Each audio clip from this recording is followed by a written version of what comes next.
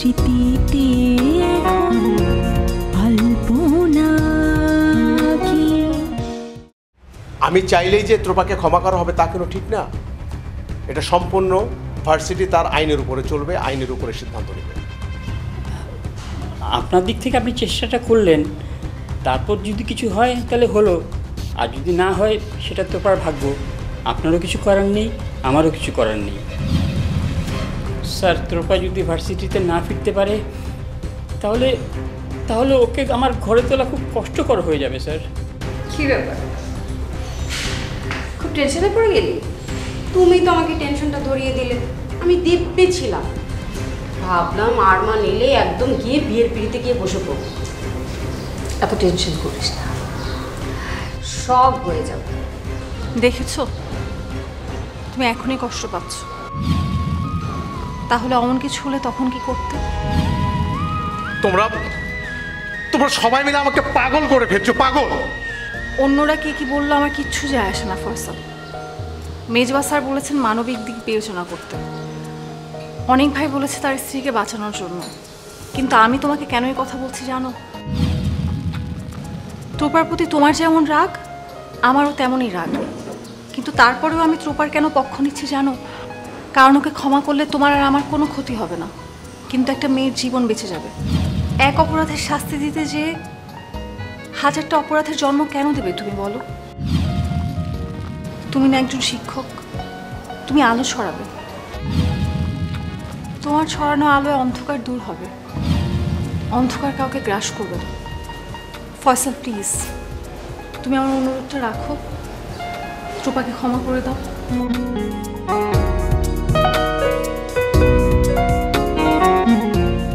ঠিক আছে। আমি আমি তোমার কথা বিবেচনা করে দেখব।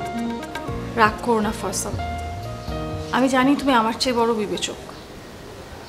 এই ব্যাপারে কোনো উপদেশ দেওয়াটা আমার দৃষ্টতা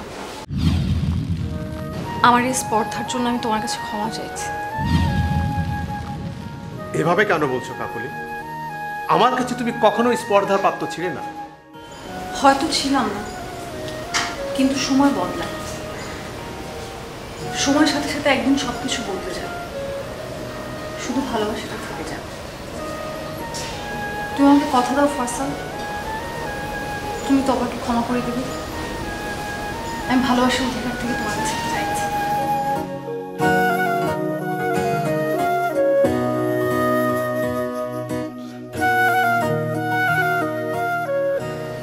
ঠিক আছে। আমি তোমার কথা রাখলাম। আমি আমি দ্রোপাকে ক্ষমা করে দেব। থ্যাংক ইউ ফয়সাল আমি জানতাম তুমি আমার কথাটা রাখো।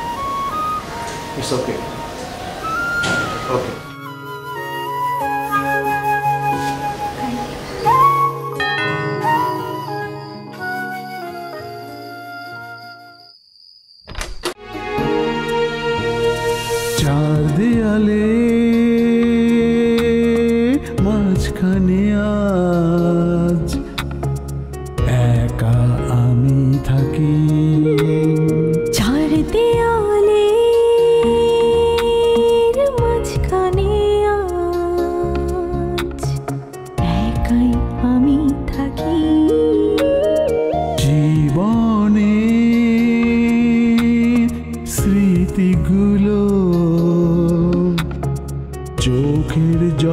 লিখি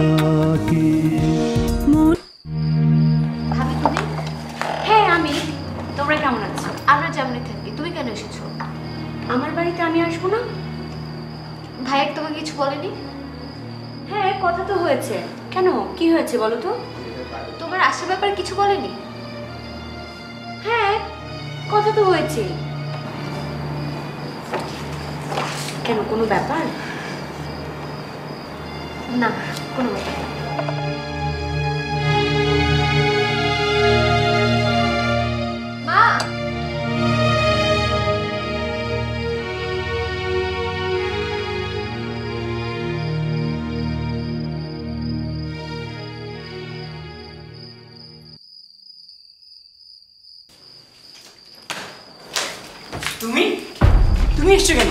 হ্যাঁ আমি এরকম অবাক হচ্ছ কেন? আশ্চর্য তুমি এখানে আসবে আমাকে আমাকে জানাবে না? মার সাথে দেখা হয়েছে? না দেখা হয়নি।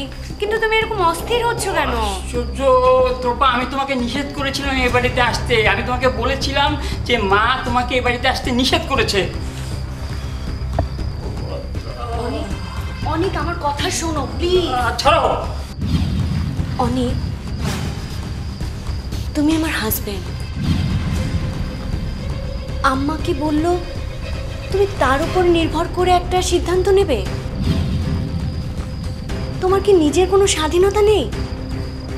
এ বাড়িতে মা যা বলে সেটাই সিদ্ধান্ত। আমি কি বলব? তুমি তুমি কেন এই বাড়িতে আসতে গেলে হ্যাঁ? এখন আমি মাকে কি বলব? কি করব আমি? আমার বাড়ি আমি আসব না। মা ভীষণ খেপে যাবে। ভীষণ রেগে আছে তোমার উপর। রেগে আছে ঠিক আছে। একসময় রাগ কমে যাবে। তুমি এমন কেন করছ? তোপা তোপা তুমি একদম বুঝতে পারছ না। মা আমাকে আসতেও রাখবে না। আমি এখন মাকে কি জবাব দেবো? অনেক তুমি আমার হাজবেন্ড তুমি সাপোর্ট না দিলে আমি কোথায় যাব? আমার তো আর কোথাও যাওয়ার জায়গা নেই অনেক জায়গা নেই তো। যে কোনো একটা ব্যবস্থা করে নিতে। এখানে এলে কেন? এখানে তুমি থাকতে পারবে না তোপা আমি এখানে থাকতে পারব না মানে? আমি কোথায় যাব? সারা রাত আমি বাইরে থাকব। তোপা তোপা আমি কিচ্ছু জানি না। তুমি তুমি কেন এভাবে আমাকে বিপদে ফেললে? মা মা এখন হুলস্থুল কাণ্ড ঘটিয়ে দেবে। অনেক তুমি আম্মাকে বুঝিয়ে বলো আমি তোমার স্ত্রী। আর তোমার উপরে আমার অধিকার আছে? হ্যাঁ হ্যাঁ তুমি আমার স্ত্রী। তবে তুমি এ বাড়িতে নিষিদ্ধ। মা তোমাকে স্পষ্ট করে বলেছে তুমি যেন এ বাড়িতে না ঢোকো। অনেক তোমার উপরে যদি আমার অধিকার থেকে থাকে তুমি এই বাড়িতে থাকো তাহলে আমি কেন এই বাড়িতে আসতে পারব না অনেক? ও সেটা কেন বুঝতে পারছ না যে সেটা শুধু তোমার আর আমার ব্যাপার? তোমার আর আমার ব্যাপার বলে আমি তোমাকে বলছি বিষয়টা। তুমি আম্মাকে বুঝিয়ে বলো। সরি তোপা মার আদেশ অমান্য করে আমি তোমাকে এ বাড়িতে রাখতে পারব না। আম্মাকে তুমি বুঝিয়ে বলো যে আমি কোনো অন্যায় করিনি অনেক। সেটা আমি বলতে পারব না তোপা মা বলেছে তুমি সোসাইটিতে আমাদের মাথা হেড করেছ। প্রফেসরের সঙ্গে আমার এমন কোনো কিছু হয়নি যেটার জন্য তোমাদের মান সম্মান সমাজে থাকবে না। এটা মানুষের একটা বানোয়াট কথা। কেউ কি প্রমাণ করতে পারবে অনেক যে আমি অন্যায় করেছি? ওহ তোপা সব কিছু প্রমাণ করতে হয় না। সোসাইটিতে থাকতে হলে সোসাইটির কথা শুনতে হয়, মুরব্বীদের কথা মানতে হয়। আমি আমি মার কথার অবাধ্য হতে পারব না। তুমি না আমার হাজবেন্ড হ্যাঁ সেটা অবশ্যই। অনেক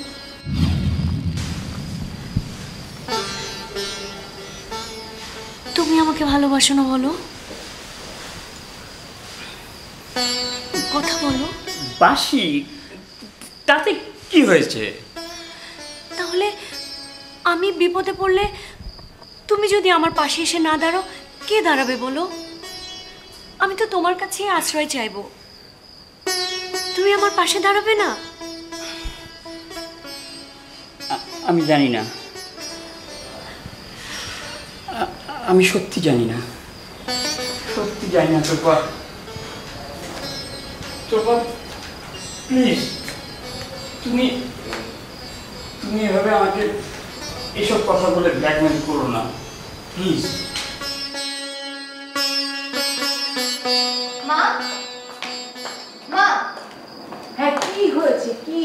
ভাবি এসেছে। ভাবি এসেছে? ভাবি এসেছে? ওর এত বড় সাহস! ও আমার বাড়িতে আবার এসেছে না করা সত্ত্বেও। এখন কি করবে? এখন এই মুহূর্তকে বাড়ি থেকে বের হতে হবে। এই মুহূর্তে! আমি পারব না। তুমি ভাইয়াকে বলেছিলে? ভাইয়া ভাবিকে বলে নাই। আমার তো মনে হয় ভাই ভাবে যুক্তি করে এগুলো করেছে। আমি কোনো যুক্তি শুনব না। আমার এক কথা আমি এই মেয়েকে বাড়িতে দেখতে চাই না। শোনো মা ভাবি বাসায় থাকলে আমাদের মান সম্মান কিচ্ছু থাকবে না। অলরেডি এলাকার সবাই জেনে গেছে ভাবি ভার্সিটির টিচারের সাথে নষ্টামি করেছে। তাকে ভার্সিটি থেকে বের করে দেওয়া হয়েছে হল থেকে বের করে দেওয়া হয়েছে। সে যদি এখন এই বাসায় থাকে তাহলে আমাদের মান সম্মান থাকবে। লোকে ছিছি করবে না কাউকে মুখ দেখাতে পারবে তুমি বলো? আমি তো বলেছি আমি তো বলেছি এই মেয়ে বাড়িতে থাকবে না। আমি অনেককে বলে। দরকার হলে আমি অনেককে আবার বিয়ে দেওয়াবো ঠিক আছে? তোমার ছেলে সেটা শুনবে? এরকম বউ পাগল ছেলে আমি কোথাও দেখি নাই। সারাক্ষণ শুধু বউয়ের আঁচল ধরে বসে থাকে। আর এইসব তুই মেয়ের ছলো না হ্যাঁ? যার মা ভালো একটা হাজব্যান্ড রেখে সংসার রেখে দ্বিতীয় একটা বিয়ে করে আরে তার বিয়ের কতটা ভালো হবে? সেটা তোমার প্রথমে ভাবা উচিত ছিল। আমার তো প্রথম দিন থেকেই সন্দেহ হয়েছে। ভাবি সুবিধার না। তোমার মনে নেই মা? ফোনে দেখার সময় কেমন ঘোমটা ছাড়া বসেছিল? কেমন পটর পটর করে কথা বলছিল? মা, তুমি ওর একটা ব্যবস্থা নাও। তা না হলে ও ভাইয়ের জীবনটা ছাড়কার করে ফেলবে। এই মেয়ের সাথে ভাইয়া থাকতে পারবে না। সারা জীবন ভাইয়ে ভাবে গোলামি করবে আমি তোমাকে বলে দিলাম। কে কার গোলামি করে সেটা আমি এবার দেখি ওকে আজই আমি ঘাট ধাক্কা দিয়ে বাড়ি থেকে বের করে দিব। ওর এত বড় সাহস ও আমার কথা বর খেলাপ করে? নির্লজ্জ বিহার যেন কোথাকার। দেখ, আজ আমাকে কি হাল করছি।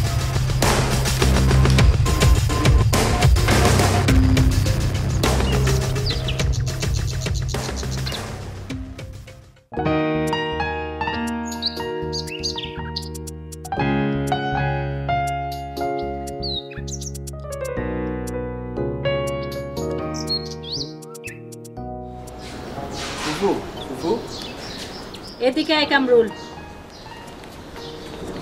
কি হয়েছে বল? ফুফু মানে মানে ফুফু আপনার তোতলাচ্ছিস কেন? বল। আরে কি হয়েছে বলবি তো। ফুফু আপনার জিনিসপত্র নিয়ে পশ্চিম পাশে ছোটো গড্ডার মধ্যে চলে যেতে কইছে। কেন? আপনার ঘরে নেহা ম্যাডাম থাকবে।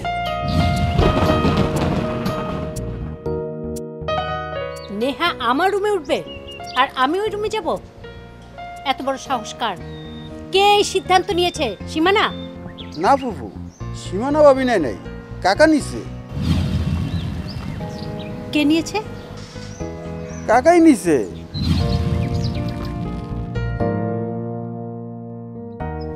ভাইজানি সিদ্ধান্ত নিয়েছে? জি ফুফু আমার অনুমতি ছাড়া ওই রুমের জিনিসপত্র নড়বে না কামরুল? কিন্তু কাকাজি বলল কাকা বললে তো আমার শুনতে হবে বললাম তো আমার অনুমতি ছাড়া আমার একটা জিনিসও নড়বে না। তাহলে আমি কি করব ফুফু কাকার কথা না শুনলে কাকা সেদবো আবার আপনিও না করতেছেন। তোকে চিন্তা করতে হবে না। তুই যা ভাইজানের সাথে আমি কথা বলব। কিন্তু রং মিস্ত্রি যে আইব ওইটার কি হইব? রঙও করতে বলেছে? জি ফুফু নেহা ম্যাডাম থাকব নতুন রং না করে দিলে তো সে উঠতে পারব না। এই সব সীমানার কারসাজি ওই ভাইজানকে দিয়ে সব করাচ্ছে। কত বড় সাহস মেয়েটার। তাহলে ফুফু আমি কি করব আমার একটা কিছু কয়ে যান আমি কাকার কি কমু? তোকে কিছু করতে হবে না। যা বলার আমি বলব ভাইজানের সাথে।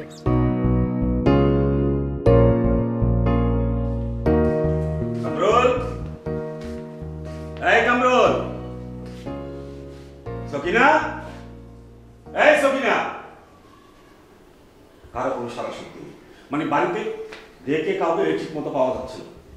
নিজের কাজকর্ম এখন নিজেকেই করতে দিতে হচ্ছে ভাইজান? হুম। ভাইজান? হুম। তুমি কামরুলকে কি বলেছ? কি বলেছি? তুমি কামরুলকে বলেছ আমার ঘর থেকে মালপত্র সরাতে? ও হ্যাঁ মানে ওই কামরুলকে বলেছি তোদের মালপত্রগুলো গুছিয়ে ওই যে পশ্চিম পাশের ঘরটাতে দিতে। এখন থেকে তুই আর কাকুর এখানে থাকবি। কাকুরের পড়ার টেবিল সেগুলো যেন ওই রুমে সেট করে দেয়। কেন নেহা আমার ঘরে থাকবে? কেন থাকবে মানে? আরে নেহা ওদের বাড়ি ছেড়ে এসে আমাদের বাড়িতে থাকছে। ওর পড়াশোনার জন্য আমাদের একটা রুম দরকার সেটা নেই। তাছাড়া মেয়েটার একটা প্রাইভেসি আছে। বৌমার সঙ্গে রুম শেয়ার করছে। বৌমারও তো কষ্ট হচ্ছে ওরও তো একটা প্রাইভেসি দরকার। দুজন মানুষ কি একই রুমে থাকতে পারে? তাই বলছি ওরা এখন থেকে তোদের রুমে থাকবে। আর ওই রুমে থাকা আর এই রুমে থাকা তো একই কথা। ভাইজান ওই রুমে থাকা আর এই রুমে থাকা যদি একই কথা হয় তাহলে নেহাকে ওই রুমে পাঠাও। আমার রুমে কেন? ওই রুমটা পড়াশোনার জন্য যথেষ্ট উপযুক্ত নয়। মেয়েটার পড়াশোনাটা জরুরি। আর কাকলি? ওর পড়াশোনা জরুরি না? আর কাকলি কতদিনই বা এখানে থাকে? ও তো বেশিরভাগ সময় ক্যাম্পাসে হোস্টেলেই থাকে। সেখানেই পড়াশোনা করে। যতটুকু বাড়িতে করতে হয় তার জন্য তো ওই রুমটাই যথেষ্ট।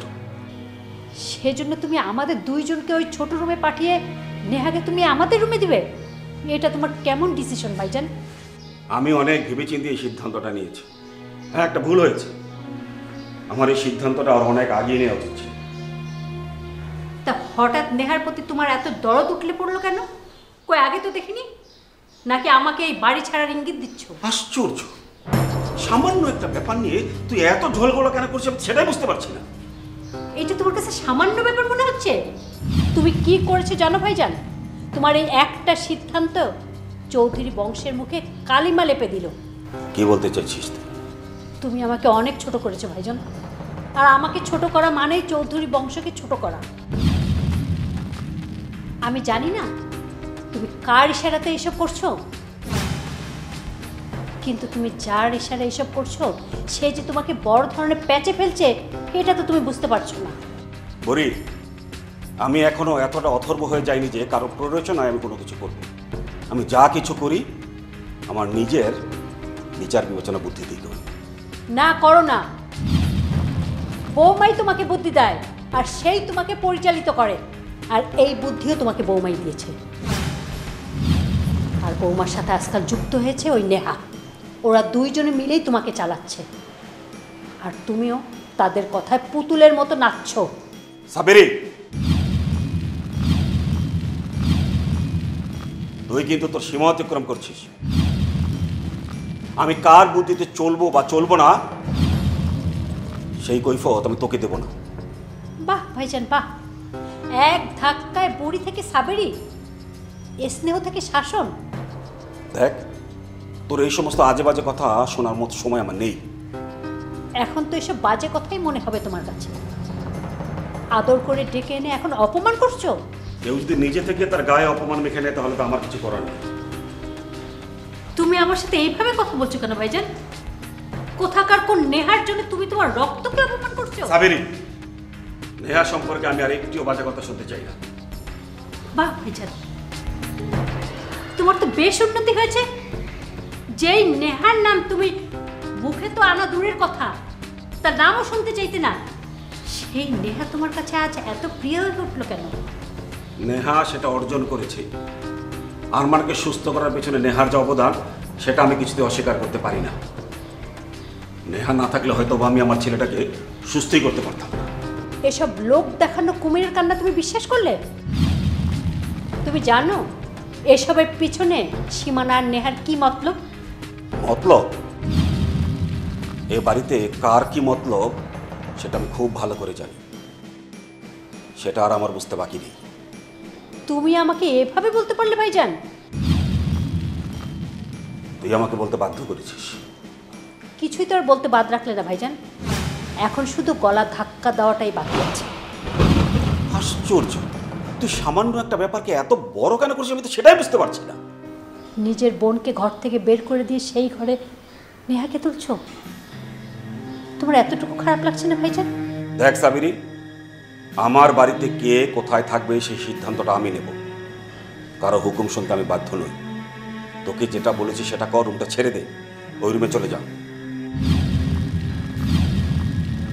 যদি না যাই তুমি আমাকে বের করে দিবে? তুই তুই যদি সেরকম মনে করিস তাহলে তো আমার কিছু করার নেই। আমার বাড়িতে আমি যেটা বলব সেটাই হবে। সেটা যদি কারও পছন্দ হয় সে থাকবে। আর যদি পছন্দ না হয় তাহলে